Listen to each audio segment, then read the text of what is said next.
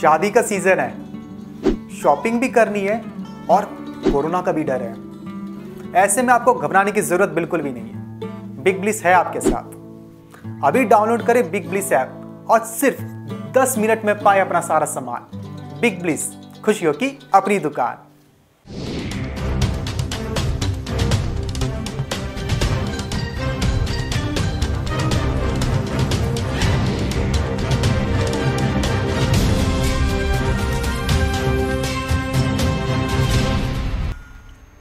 भारत जिन दो देशों से, यानी रूस और यूक्रेन से भारी मात्रा में सूरजमुखी तेल का आयात करता है, उनके युद्धरत होने से इसकी आपूर्ति पर गहरे बादल छा गए हैं, जिसका सर्वाधिक लाभ पाम तेल के उत्पादकों को होगा।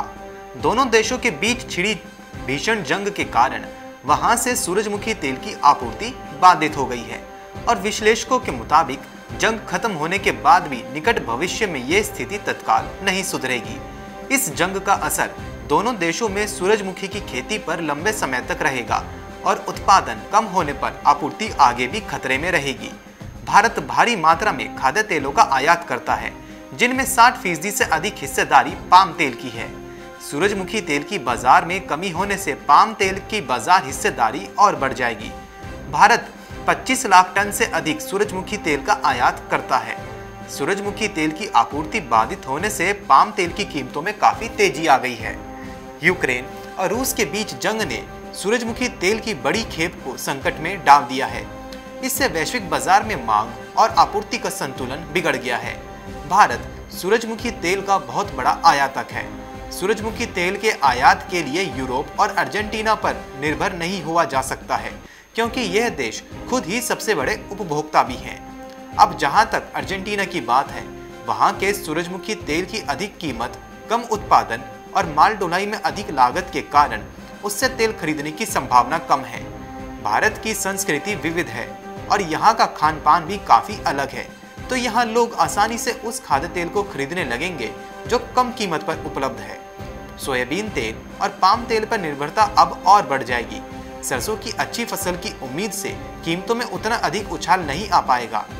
देश में सरसों की फ़सल की अभी कटाई हो रही है और कुछ ही दिनों में सरसों का तेल भी बाज़ार में आने लगेगा, जिससे खाद्य तेलों की कीमतों में अधिक तेज़ी का लगाम लगेगा।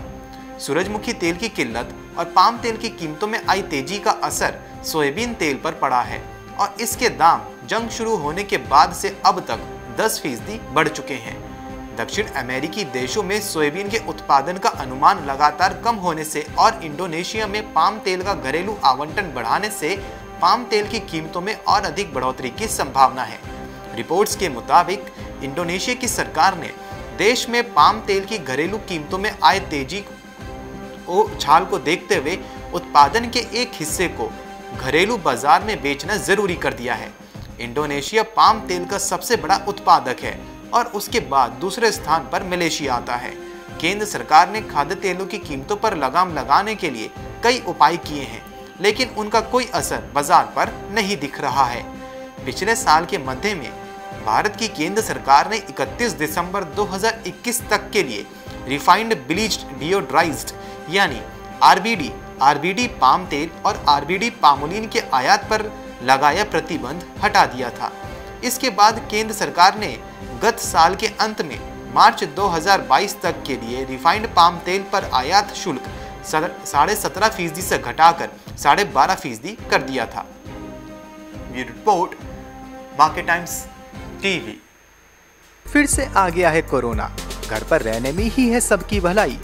अब आपको मेडिकल स्टोर पर लंबी लाइन में नहीं लगना। बिग ब्लिस लेकर आएगा। 10 मिनट में आपके घर पर दवाई। बिग ब्लिस खुशियों की अपनी दुकान।